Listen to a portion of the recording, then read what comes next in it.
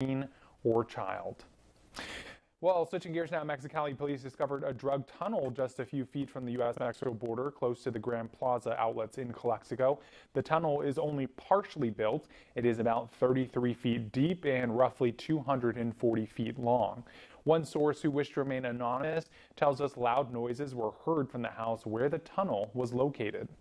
We heard the machine for more than a month. The noise lasted like a week ago. We didn't know what it was and where the noise came from until today when we saw the police and soldiers in the area. There was a rumor among the neighbors that it was a drug tunnel. When we heard the noise of the machine, we didn't look what kind of machine it was because everything was inside the house. There lives a family that already has a time here in the neighborhood. So far, police have arrested five people who they believe are connected to the tunnel.